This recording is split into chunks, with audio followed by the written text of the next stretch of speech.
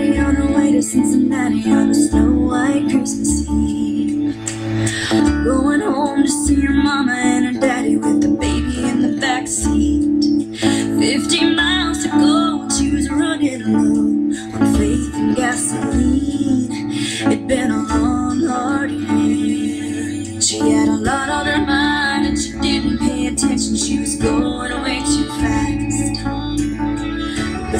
she knew she was standing on a thin black sheet of glass. She saw both the lives flash before her eyes. She didn't even have time to cry. She was so